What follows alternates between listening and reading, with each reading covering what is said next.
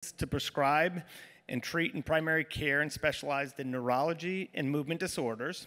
She has more than 30 years' experience in caring for individuals with Parkinson's disease. She practices at uh, Lakeside NeuroCare in Fond du Lac and is an inpatient medical consultant to acute neurological conditions such as stroke and seizure at St. Agnes Hospital, Aurora, Oshkosh, and Mercy Medical Center in Oshkosh. Dacey's clinical practice specializes in the diagnosis and treatment of individuals with Parkinson's disease. Prior to joining Lakeside, she was a nurse practitioner at the Regional Parkinson Center in Milwaukee.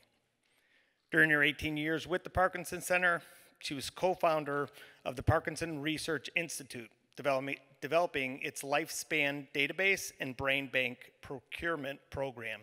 And she has also held the position of Education and Outreach Coordinator for Wisconsin Parkinson Association.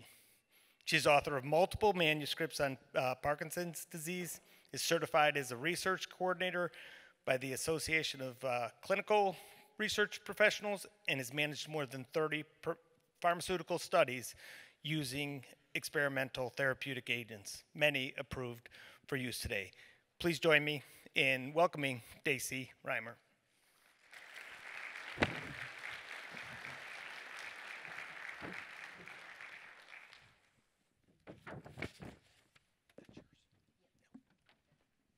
Thank you, Gary. That was a mouthful. I am really thrilled that you're all here with me today because it really shows that you have an interest in your health and that you're being proactive.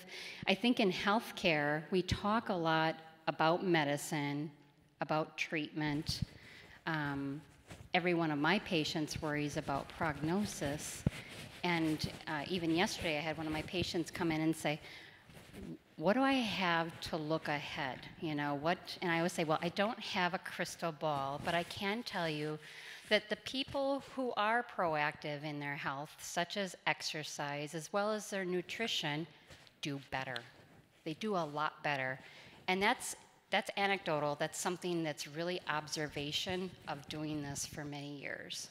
So, uh, and you hear a lot about exercise, and I absolutely am an advocate for exercise, but we talk very little about nutrition and what you should do proactively to promote brain health.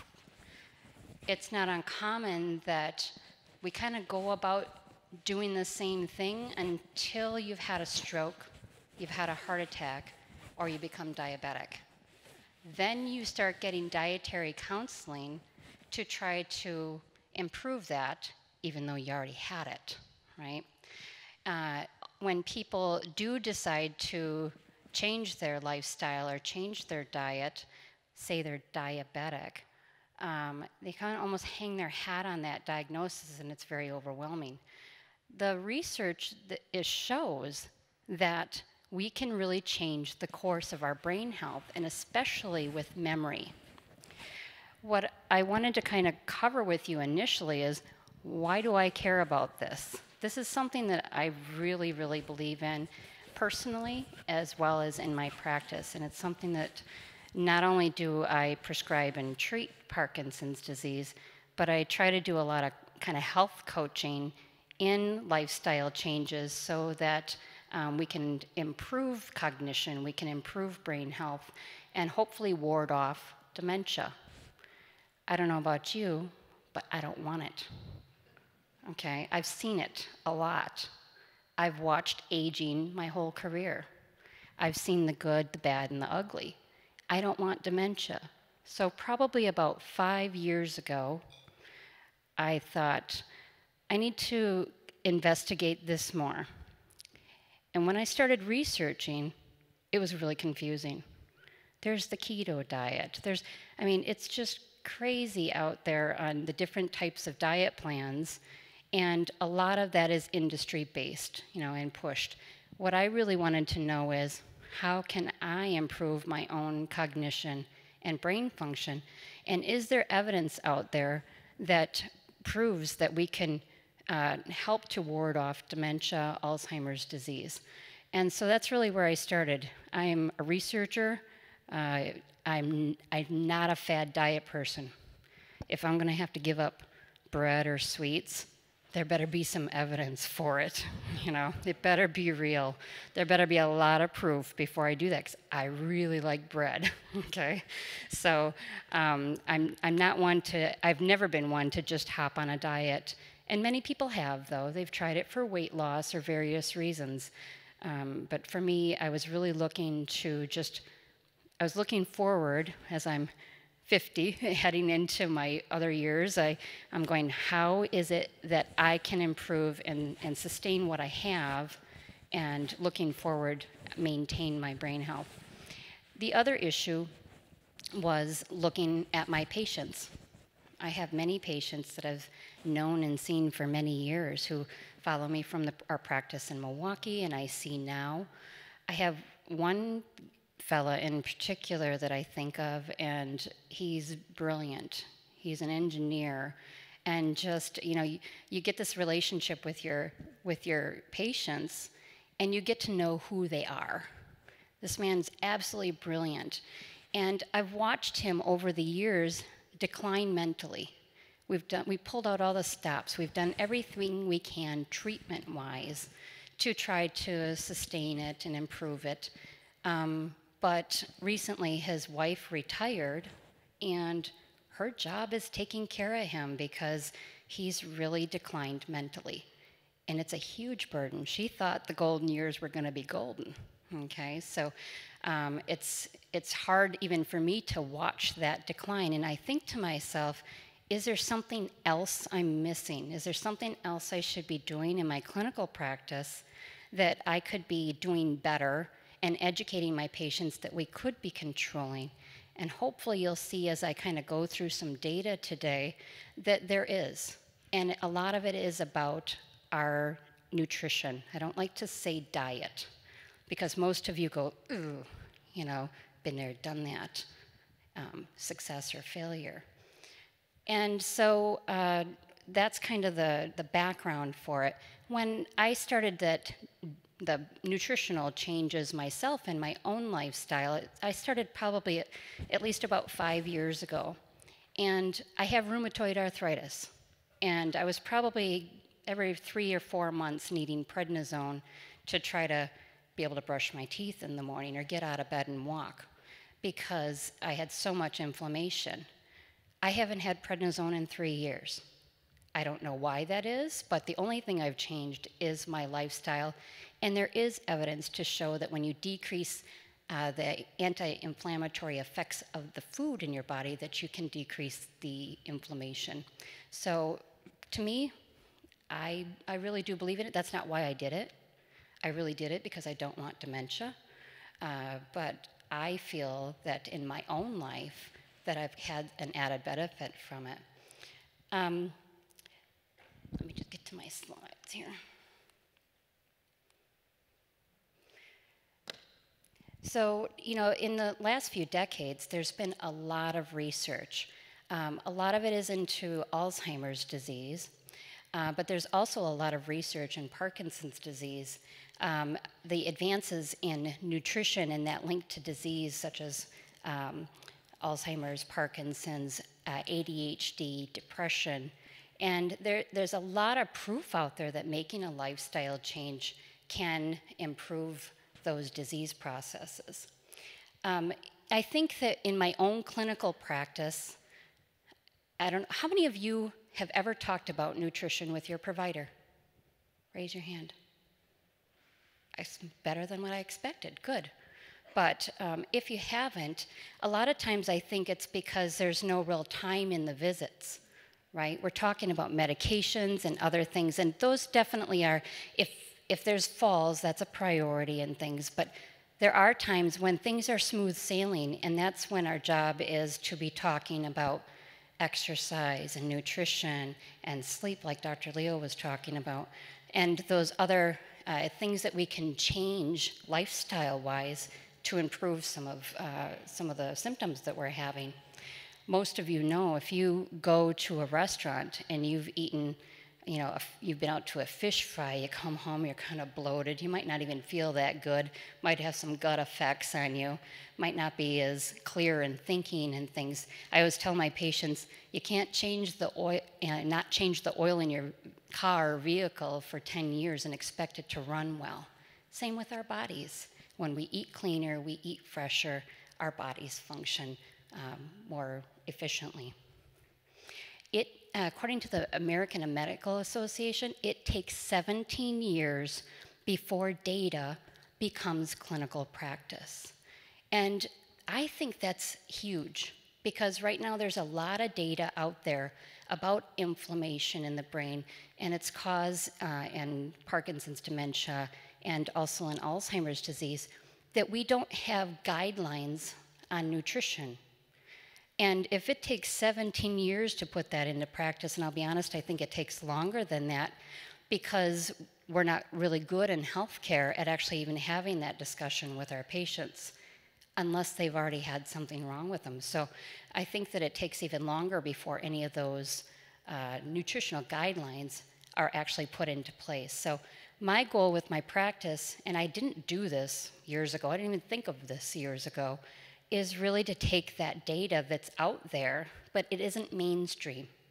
It isn't mainstream in neurology. It isn't mainstream in necessarily in movement disorders. It's not even mainstream in primary care. And take that data and make sure that I'm applying it and educating my patients. Part of that is because it gives you a positive focus also on your health. Because when you get the diagnosis, you kind of have this idea that this is a downhill swing. Oh, but then I can exercise. But nutrition will even um, enhance that more. So you have to have, you have to be able to control some of this, right? You don't have to give it all up to Parkinson's disease. And hopefully, when you see the data and the proof, you'll take it very seriously. The fact that you're here today, you're taking it very seriously. So I really appreciate you being here. So, in 2019, the National Institute of Health, or the NIH, um, did a big study called the Human Biome Project. And in this study, um, they, you can look this up online and things too. Um, the basic idea behind it, and it's very complicated, is that there's more of a connection between your brain and your gut than you think. I think a lot of times, especially in neurology or any other specialty, we focus in, we're looking at the brain. That's all we're looking at. We, you know, there's actually a vagus nerve that runs up, and a lot of that inflammation follows that. And so, uh, when we're talking about that connection, you might think, well, how in the world would your gut connect to your brain? But we can't really break it apart. You know, we really have to take a look at um, the cause and effect.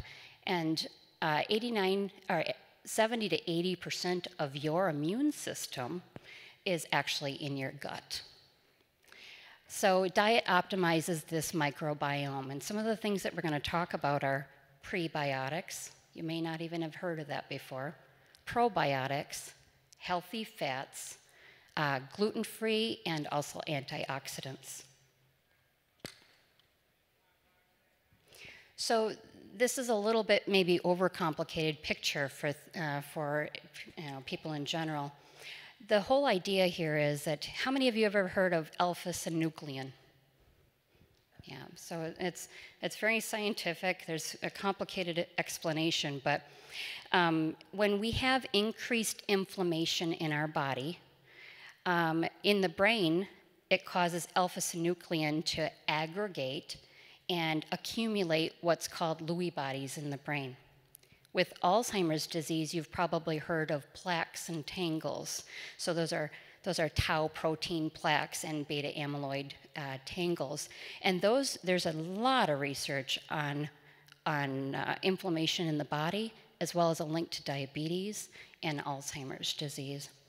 So in my practice, like I said, my goal is that I'm trying to be able to assess the foods that cause more inflammation okay, and decrease those so that it, uh, the body has a lesser inflammatory response. In my case, with my, with my rheumatoid arthritis, It makes sense that it got better, but I, like I said, I just didn't, I just didn't expect that. So I wanted to talk real briefly. Has anybody heard of the blue zones? Yeah, good. We actually have, you know, one here in Dodge County in Wisconsin. So they're actually, uh, I didn't even know it. I was speaking for the Alzheimer's Association, and I was walking into the building, and there's a sign, and um, and it said that they were a blue zone community, and I didn't even know that they had a blue zone community here in Wisconsin. So apparently, I didn't do enough research, um, but I have since then, and I kind of follow them on Facebook too. So blue zones. Oh, and I wanted to add really briefly that Dan Buettner, uh, the creator of this Blue Zone project, is actually related to Gary, which I didn't know until one of my talks, uh, I think last year. So he's actually a relative of Gary's. So uh, Dan was a, or is a reporter uh, for National Geographic, correct? And uh, so he basically, in a lot of his travels around the world, and uh, found that there are these pockets that have people with excellent health and longevity and thought, well, why in the world is that? Why do they, what do they do that's different than what we do, right? And when I talk about longevity, these are very these are centurions, and these are people who uh, live many, many years, long years into their 90s, but they're healthy. They don't have the diabetes. They don't have depression. They don't have the heart disease that we have especially uh, here in the United States. So the Blue Zone Project, and you can go online to the Blue Zone Project, was created to investigate that further. And they've basically identified these five areas um, initially uh, that are, are designated as blue zones. And so the investigation was into why, why them? What are they doing? And um, there are many factors to it. It's not just nutritional, it's social, um, one of the things I say to people is our goal here is to keep you independent, right? I want to be independent as long as possible. I don't want to be reliant on anybody else. And so you got to wake up every morning with purpose. You can't just retire and quit, right? You got to have purpose every morning when you wake up.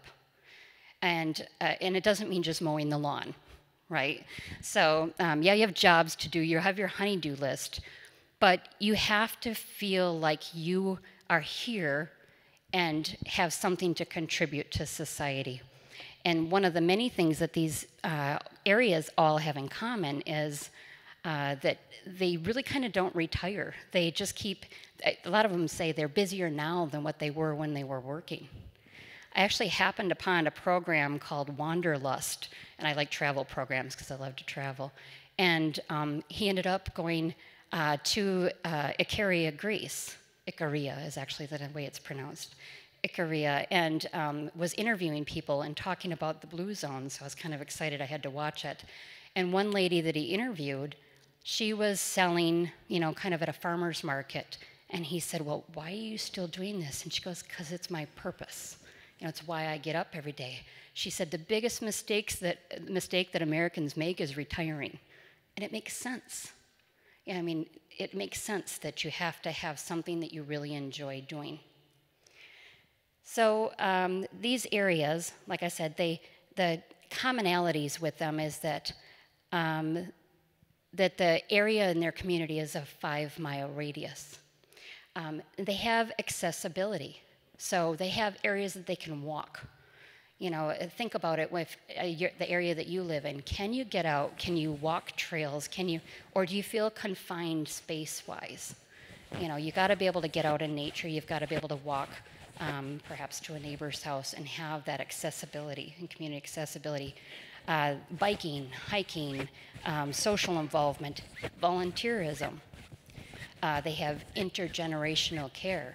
So it's a lot about family, young family helping to take care of old. The uh, elderly are helping to babysit the young. So a lot of that, that energy, that's purpose, right? Any of you, I'm a grandma. I have three grandkids. I absolutely love spending time with my grandkids. And I always say it keeps me young. I absolutely cherish that time. And I think I have a different perspective on, on what fun is, and you get to take that time to do it. Like I said, it just gives you a sense of purpose. So the Icaria Greece, and I'm going to kind of hop down to number four there. Those people live eight years longer uh, than, than most uh, people. They have half the heart disease and really barely any dementia at all. Uh, this is, uh, they're at Icaria, Greece, or Icaria. I always want to, I've, I've got it in my head that it's Icaria, but I was corrected.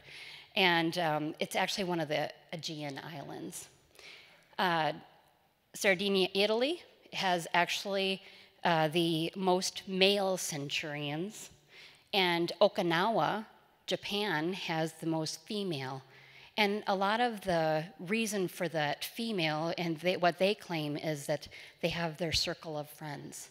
It's a very tight knit circle of friends that's really important to them. But what they all have in common is diet, is, there, is that nutrition. They're all areas that have a lot of fresh produce. They tend to eat more seafood. They don't eat as much meat. It's actually uh, overall much less meat um, than what we proportion on our plates. Uh, they tend to eat more of the beans and legumes. They eat more of a Mediterranean diet. And when we talk about Parkinson's disease, that is the suggested diet, lifestyle, is more of a Mediterranean. Or what I, I tend to talk about too is an anti inflammatory diet. And they're very actually similar. So I'm going to go into, because I want to make sure that I get time for questions here. Obviously, you are what you eat, right? So think about what you're eating in a month. Think about when you go grocery shopping and uh, what you're putting in your cart. And uh, I think that a lot of us, if we really would look at that, we'd find that there are a lot of fillers, there are a lot of preservatives, uh, there's a lot of refined sugars, a lot of processed foods. And that is, and we do that for convenience, or we use those for convenience, and it's added for extended life, uh, shelf life. The problem is, most of those foods cause inflammation. So when you're shopping, what I want you to think about is shopping more of that perimeter of the store. When you walk in, you hit the produce, even if uh, even it's, if it's frozen, it's uh, less degraded nutritionally uh, than even the canned foods. Um, the best foods and the best, like I said, uh, recipes tend to be Mediterranean. A lot of times when I talk to people about this, they go, I don't know what that means. I, I need recipes. I can't just, you know, change this over because my husband, he really likes steak and, you know, meat and potatoes. So this is going to be a really big change. And what I tell people is know yourself, okay? If you've, think about your successes or failures on past diet changes. You know, what, what made you fail? Did you go all in? On Tuesday, I had a patient who came in and I had talked to them um, the prior visit about some nutritional changes that I really wanted them to make. Well, and I mentioned the Mediterranean diet. Well, they went home and they researched and they went all in for a week and then he kind of crashed. And I said, that's not everybody. Some people are very black and white, and other people need to start slow and kind of wean in some foods that are brain healthy and wean out the bad ones. So even if somebody's just picking one at a time and going, I'm going to really look at these refined sugars. I'm going to know what they are. I'm going to start looking at my packages and I'm going to start pulling those out. I had one fellow in particular that did that and he came in. I actually didn't recognize him in the waiting room because he lost 60 pounds. He looked fantastic, but I actually didn't recognize him. So it can be very effective. And he felt great. He had felt, he's actually a pro fisherman and um, he said he had, he had felt better than he had in many, many years. I don't think it's ever too late to change this either. Um, from my standpoint, when I am thinking about who I should talk to about this, it's really everybody. there are a few people that I think a little bit more urgently about.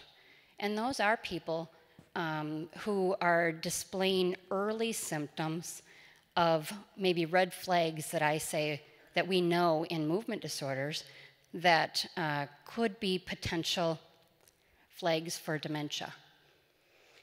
And uh, I know Dr. Leo covered like REM sleep disorder. REM sleep disorder has been linked as an early symptom of a possible dementia. So if you're having that problem with uh, acting a lot out, uh, acting out a lot in your dreams, that is something that I go, hmm, you know, we really need to talk and take a look at uh, the amount of inflammation. And I'll explain a little bit later. There are actually some labs that I tend to do and, and uh, follow so that when you're making these nutritional changes, I can see inflammatory markers going down. It's something I'm kind of tracking. I think we don't, I think we can't just do it and assume it's working. So it is something that I'm kind of tracking. Also, you know, early, early signs of possible dementia can be hallucinations as well. Sometimes it's just a one-time incident. Uh, sometimes it's more than that. But again, I don't want to wait that long. I, I want to head it off at the pass. So it really is a discussion to have for everybody. So, the Mediterranean diet, how many of you have heard of it? Have you heard it? Oh, yeah, everybody has. How many of you follow it? yeah, much less, yeah. I, you know, and we'll talk maybe a little later at question and answer. I'm, I'm curious as to why, you know, if it seems difficult. Um, but this is just kind of covering some of the data that's out there. Uh, the Europeans are much better at following a Mediterranean type diet than what we are. Um, but overall, there is definitely data on improvement in cognition as well as memory retention. And um, I think that you've got that with you. I'm not going to repeat everything that's on my slide because we've got so much to go over. Um, I wanted to kind of cover some of these, what I deem as brainiac foods. And at my table outside the door, we'll cover that at the end, there, there are a number of Mediterranean diet cookbooks. There are anti inflammatory cookbooks. I've got one uh, on Alzheimer's and food, on particular nutrients that are, that are healthy for you to, or foods and nutrients that are he- healthy for you to incorporate into your uh, daily eating that hopefully will help support what I'm talking about and give you an idea if you need you need more help in saying I need a cookbook or I need a, you know, a, I need some recipes that I can do this with, or my husband or my wife is not going to eat this. The big key is that you do it together. I mean, it's really hard to uh, have somebody in the household that's diabetic and somebody that's not. It's hard to, you're not going to cook two meals, and it's really obviously something in this case that's going to support brain health for everybody. So I, it, you really need to do it and support each other together and make it a total lifestyle change. Um, so we'll cover some of these brainiac foods. Most of you kind of know some of this, but you might not know the reason behind it or what nutrients you know uh, they actually give.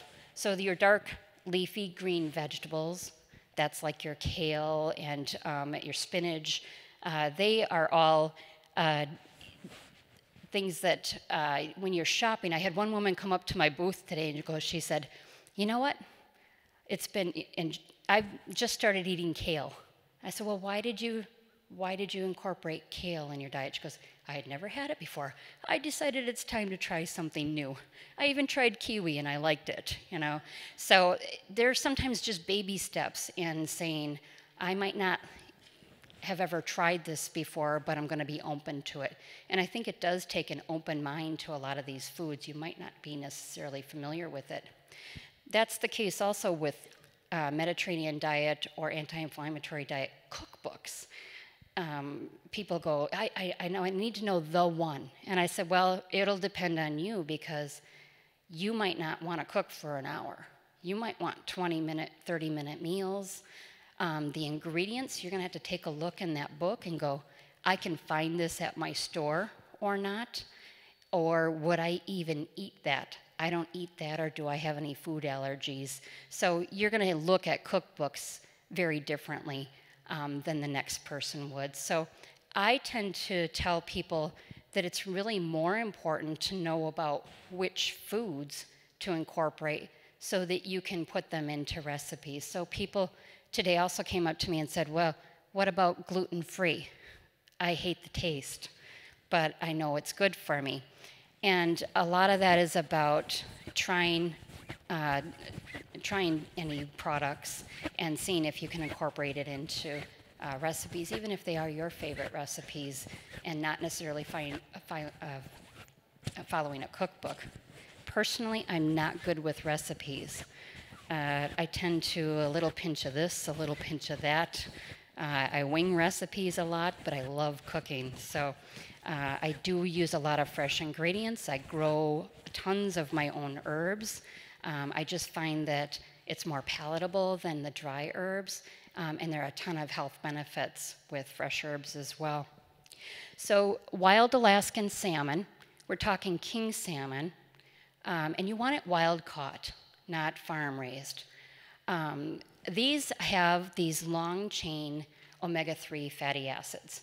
And so there are all kinds of, you know, omega acids, there's omega 6, there's omega 3. The problem with our diet now is we have so much omega 6. Um, we don't want that. We want more omega 3. We want that to be higher on the scale than the, uh, than the omega 6. But our current normal diet is very high in omega 6 as opposed to omega 3. So it kind of cancels out anything that you're eating.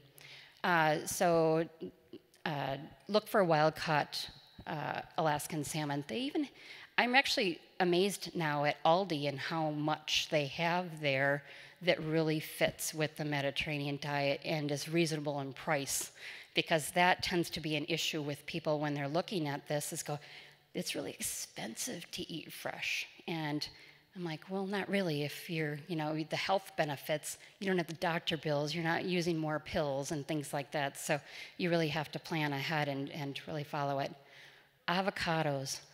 How many of you eat avocados? Yeah, good. So that's a healthy fat. And when you eat avocados with other vegetables, the avocado helps you to absorb those nutrients from those other vegetables even more.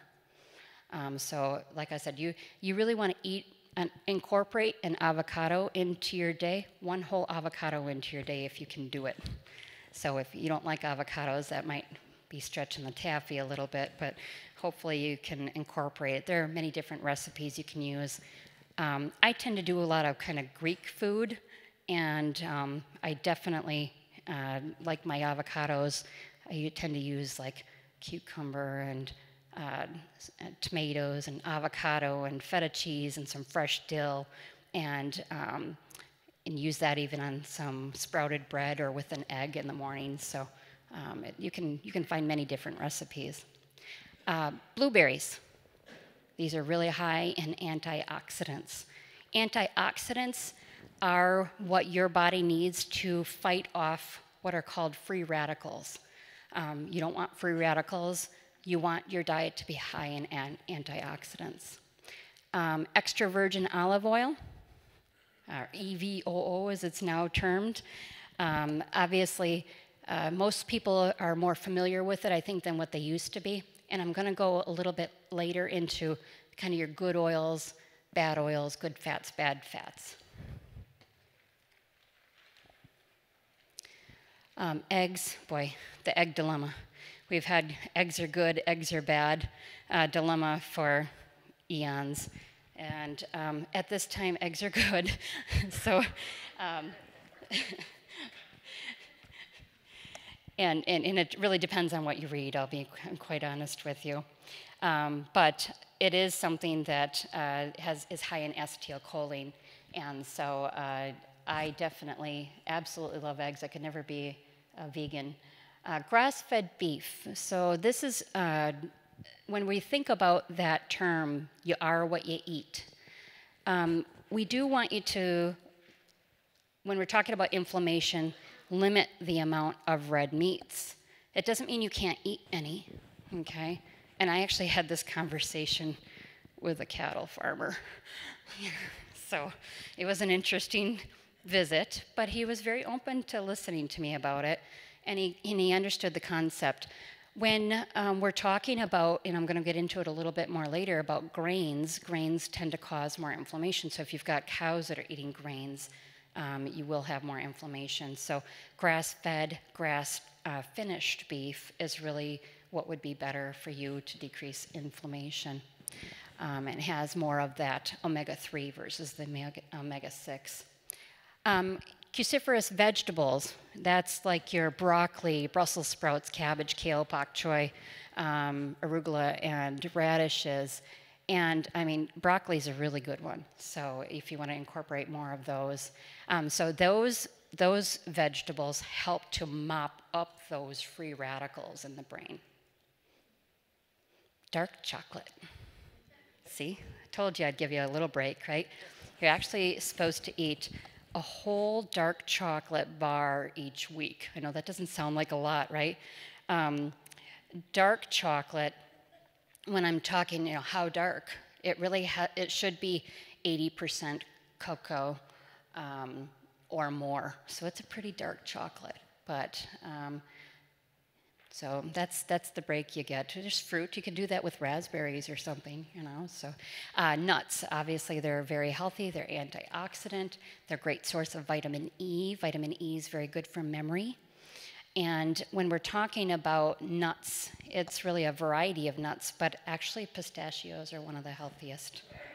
But any any nuts, if you need a snack, like I tend to keep out on my on my counter, I'll have like a bowl of cherries and um, uh, you know, a, a, trail mix. I've got a really good one that I tend to like and, and pick up that has like walnuts and almonds and uh, pecans and, and, pistachios and things that I keep out for that snack. Because otherwise, what do we do? We go to the cupboard, we go to the refrigerator, and we pick out some bad snacks. And even my grandkids, when they come over, they'll nibble off of that stuff on the counter because sometimes we just do it out of boredom.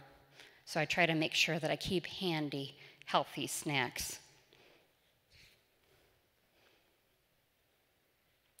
So, feeble foods. Um, these are foods that tend to gum up the brain. Okay? We're going to talk about grains, and I told you I love bread. I really love bread. So, do I eat bread? I do eat bread. I don't. I haven't given it up completely. I haven't like gone. Uh, you know, eh, I I I like bread. I really do. So, but I really pick out things that are better for me. I'll do more of like a sprouted bread. Have you ever heard of sprouted bread? That's really when the energy from the grain um, causes it to sprout, and so less of it um, is less of it is used in the body uh, to increase your blood sugars. And what our goal is here, and a lot of that link between Alzheimer's disease and diabetes is about these bursts of uh, carbohydrates or sugars um, in our bloodstream. And so the goal is to eat foods that are longer, longer acting sugars so that you maintain a steadier blood sugar level. And so that's where you really want to watch these grains and make sure that uh, if you are, need a gluten free diet, absolutely you can do that. Um, I know that really is what's promoted, but I don't do a total gluten free diet. Um, some people uh, definitely kind of stick to that. That's my that's my crutch. So, um, and like I said, I think it's really about working in what's doable for us and palatable for us. Um, 40% of, of Alzheimer's cases can be owed to elevated insulin, um, which actually begins decades before diagnosis. Okay, so a lot of this is about lifestyle long term lifestyle changes and, and its effect on the body. You should really stop eating two to three hours before bedtime. And that optimizes the, uh, the, the reducing of the insulin in, in the body. So, refined sugars, we kind of talked about that. Again, our goal is that you know that we are reducing that insulin spike in the body okay um, because increased sugar equals in, gly, uh, glycation, and that is equal to increased dementia. So, kind of look at your pantry, purge your pantry. I have a blog that I do, a brain health blog that I do, and that's my next article, Purge Your Pantry. And it's really about looking at those labels. You can see here some of the hidden offenders. Now, does that mean you can't eat any sugar?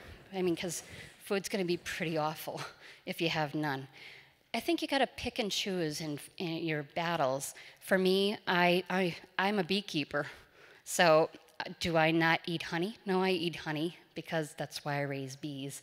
And um, so, but bees also have antibacterial, honey's, honey has antibacterial properties and some other health benefits too. So if I'm going to pick between that and cane sugar, I'm going to pick my honey or uh, maple syrup or something like that. So it, it really is about not getting rid of it necessarily completely so that food tastes awful, but reducing it down, taking a look at those labels, and having an idea of what it does to our body.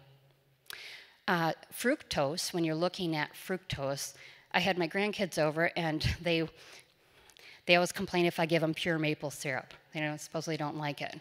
Well, I kind of tricked them this week, and, uh, and they ate it anyway. And I looked at the bottle of the log cabin that they wanted. It says no high fructose corn syrup. And then you flip over the bottle and it said fructose, water, sugar. You know, I'm like, hmm, I don't know about that. I don't know if that's true labeling there. Um, so let's talk briefly about uh, cheap oils, um, bad, bad fats. When we are talking about uh, bad oils, they cause increased oxidation. The higher the heat that you use, the more that they actually uh, change the composition of those oils. So you really want to kind of reduce down your uh, temperature when you're cooking and cook things at lower heat.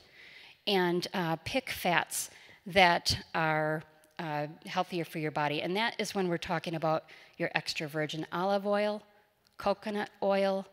Um, you can, if, you, if you're eating butter and need butter for um, anything, you can use uh, Irish butter, which is a grass fed butter. Um, and that actually is better for you than the typicals. You just want to avoid like canola oil, corn oil, peanut oil, and you've got that whole list. Um, and uh, you can also use avocado oil, which is very healthy as well. So, I know I don't have that much time left. So, uh, nutritional supplements. Glutathione. I have many people, not a lot, but some people that come in and they want to know. Glutathione is something that they heard of. Is that is our kind of master antioxidant in our body, and they've heard of you know IV treatments or pills that are glutathione, and whether or not uh, you know they could take these to improve you know their memory and things. I guess my biggest take home is with any supplements, if you don't like taking pills, why are you taking supplements then to get it when, when you could get it from your diet? So your body always absorbs things better when it's natural and comes uh, naturally from the foods that you eat. Um, so glutathione is found in fish, poultry, broccoli, Brussels sprouts, uh, cauliflower, kale, um, mustard greens and watercress. So those are some of the foods that if you really want to have the powerhouse antioxidant that you should be working on incorporating into your diet. Homocysteine. This is a, a, a lab or, a, or a, an, a marker of inflammation. There's a lot of research out there about higher homocysteine levels and their relationship to dementia. And I actually have uh, one book in particular at my table that's written by uh, Laura Mischley. And she does all of her research is in nutrition and Parkinson's disease. And um, she has a website too that you can go to to kind of register and track your, your nutrition.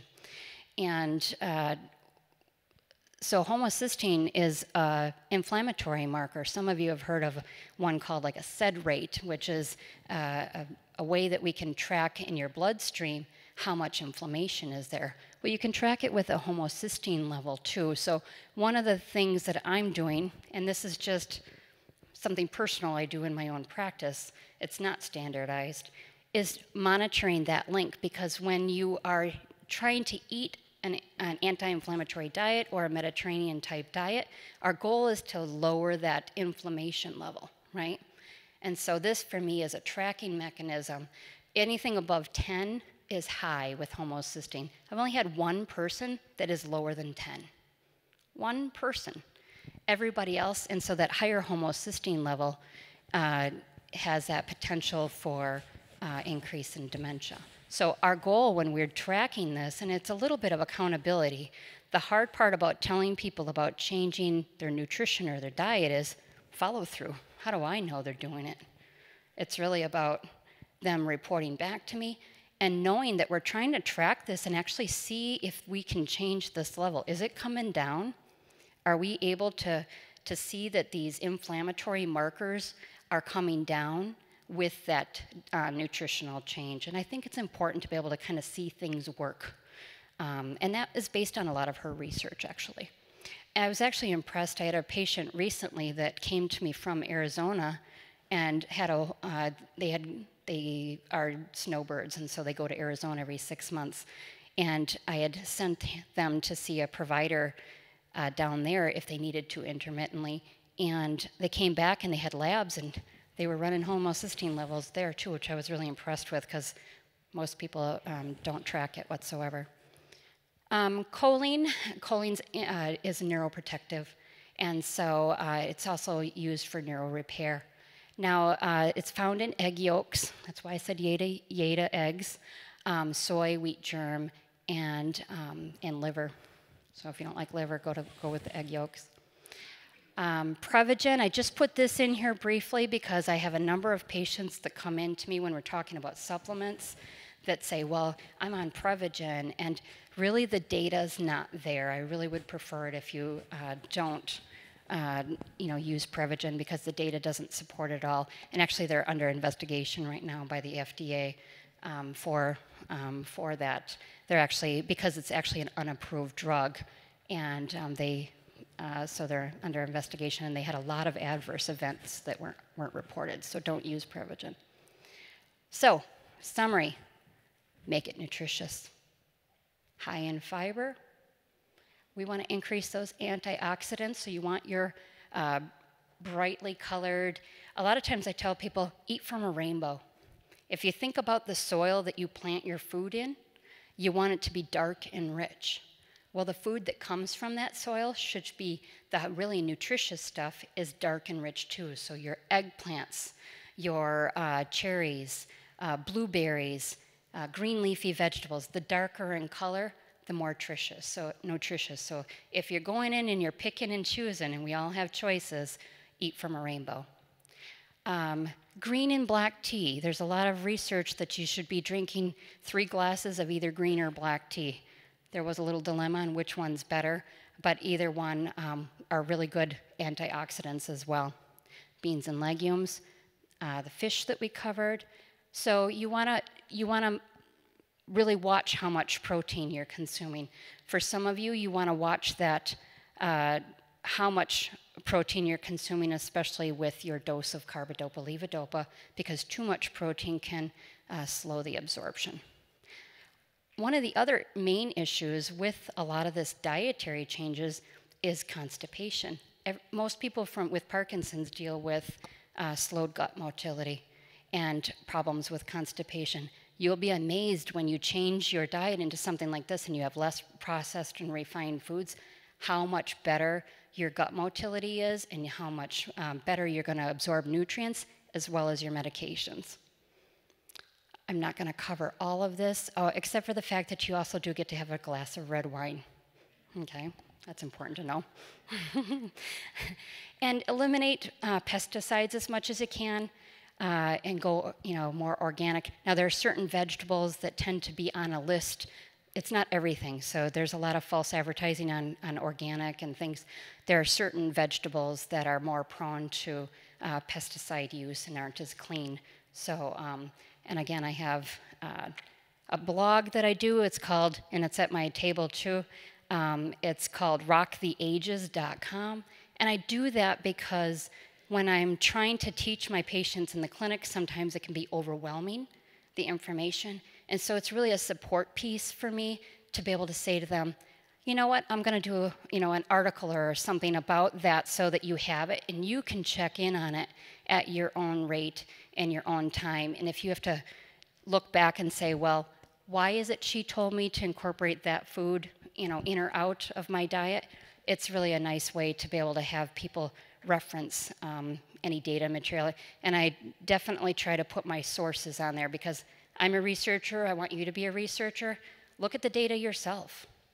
You know, but sometimes it's hard to find that. And this is scientific data. This isn't just, um, you know, some author, you know, uh, saying that they are writing a book. This is all scientific-based research that I try to link you to. So um, I have cards at my table uh, for that uh, blog site if you want it, but otherwise it's rocktheages.com. And I speak a lot, so I haven't written a lot lately, but my, my winter months tend to be a little bit freer for adding more information to that. I have also at my table a number of books that um, talk about um, health and, and, brain health and Parkinson's disease and Alzheimer's disease. I also have recipe books there. And um, I invite you to come take a look. It's outside the door to your left at the very end of the hall. So feel free to browse the table for titles. You can take a picture with your phone if you find one that you like and then order it. Um, or just write it down. I've got some pads there that if you find something that's interesting, write the title down so that you can find it at your local bookstore um, or read it. So I'm going to end with that. And we have a little we, bit of time for questions, we, so okay. raise your hand. Um, and as best you can, make it um, brief so we can get as many in before lunch. What's the length of time of your initial interview with your clients? And then subsequently, how often do you see them? And how do you document your services for our lovely insurance peeps to cover your service for your clients? Thank you. So um, the first question was, you know, how, off, how long are my visits? So my initial visit for either diagnosis or just to care or whatever is an hour. Um, my follow-up visits are 30 minutes. And it depends on the patient with uh, how often I follow up. If I'm going to make a medication change, I'm going to follow up. If I can't see them quickly because I'm kind of booked out, um, then I have them give me a phone report in a week or two. That way we're connecting um, because I don't like them to go too long. And usually I tell people, give me a percentage of improvement. I literally write down on paper, it should be easier to get out of the chair. It should be, um, your legs shouldn't feel so heavy. Um, very specific symptoms that we're looking at for goal of improvement. And then um, give, give me that phone report. And then otherwise I follow up with somebody very stable, usually every three to four months.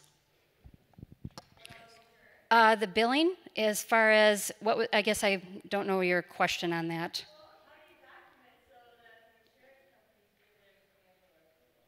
Oh, well, I don't really have problems.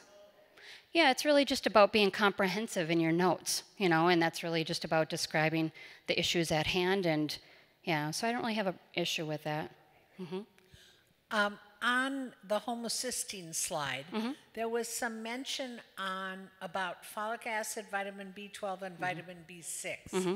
Are you suggesting those? What? Uh, what's? Well, and so it, the homocysteine there are homocysteine supplements or tablets, and that those are the ingredients in that homocysteine tablet.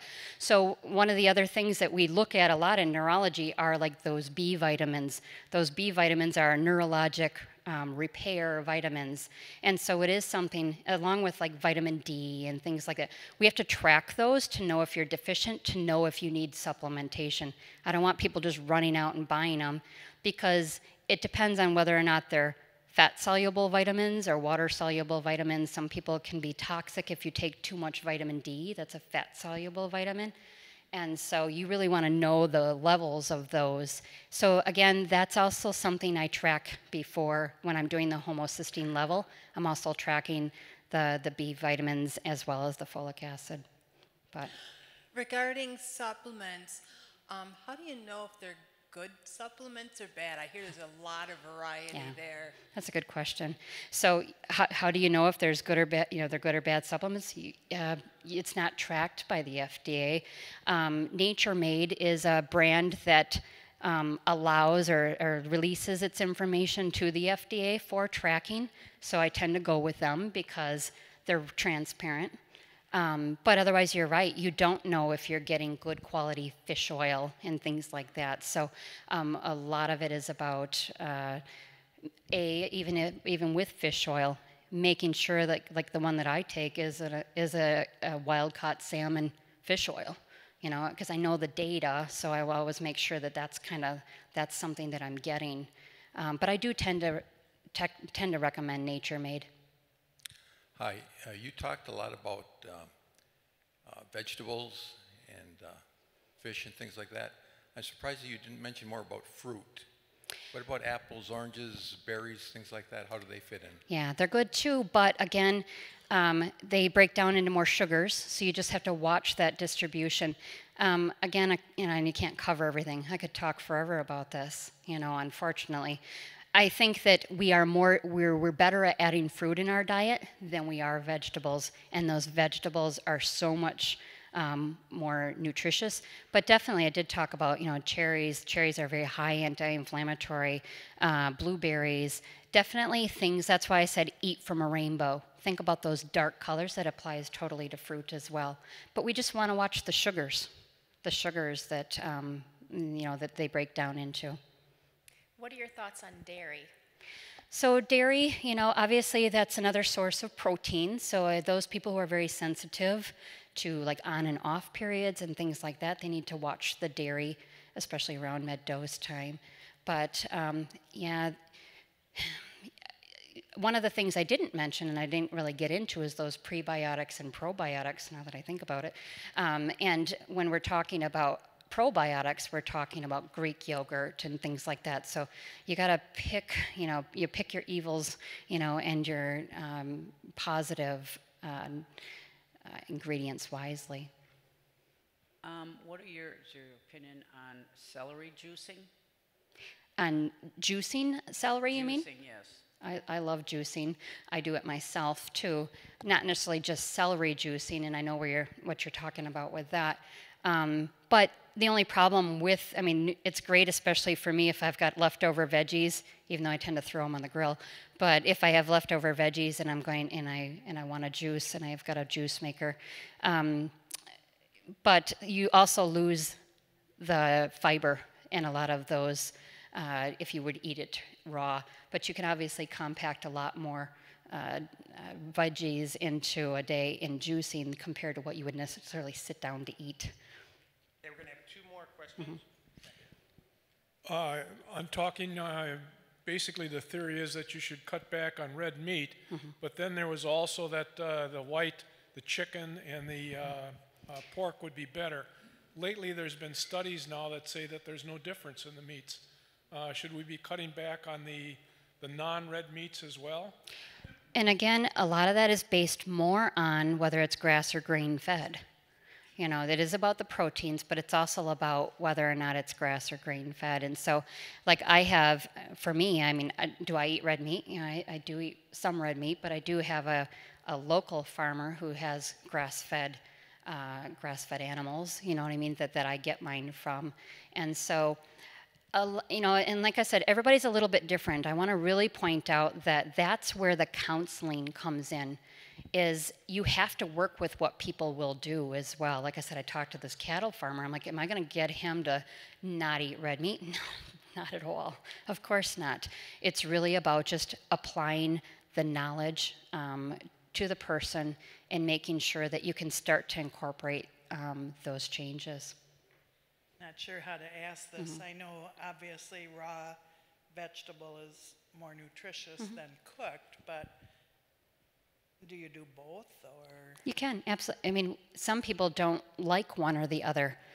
You know, and if I'm telling you to, you're not going to eat it otherwise, right? So if you can whip it up in a skillet at low, you know, at a lower temperature with extra virgin olive oil and add some herbs and all that kind of stuff, and it's palatable to you, and you don't mind it cooked, absolutely. You know, fresh, uh, obviously, ha- you haven't lost any nutrients, you know, from eating it uh, fresh, but that's not necessarily realistic for people. You're going to cook it up as well. And of course, most recipes are cooking it. All right, let's thank Dacey for her time here. Yeah. Great. Thank you. They are going to be, they are going to be starting lunch um, right next door in C. So um, get yourselves uh, settled in there, and we'll get started.